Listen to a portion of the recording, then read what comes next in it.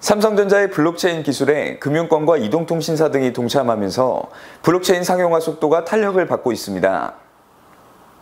삼성전자와 SK텔레콤, KT, LGU 등 국내 이동통신 3사와 KEB 하나은행, 우리은행, 코스콤 등 총 7개 업체는 삼성전자가 내년에 출시할 스마트폰 신작 모델에 신원지갑을 이용한 블록체인 기반 모바일 전자증명 사업에 공동 협력하는 업무 협약을 12일 맺었다고 14일 밝혔습니다.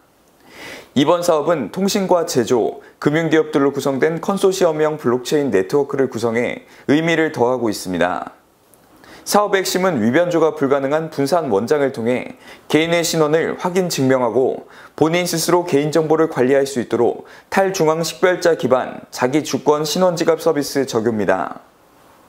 먼저 전국 주요 대학 재증명 발행과 유통 서비스, 코스콤의 스타트업 대상 비상장 주식 마켓 플랫폼에 우선 적용될 방침입니다. 개인이나 기업의 주요 정보를 스마트폰에 저장해 놓고 증명이 필요할 때 언제든지 데이터를 제출하는 형태입니다.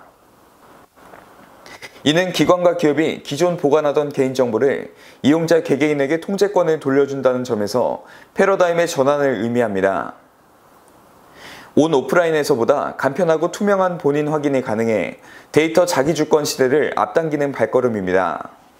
또한 각종 증명서 발부 및 제출 절차도 대폭 간소화할 수 있어 대대적인 비용 절감 효과를 얻을 수 있습니다.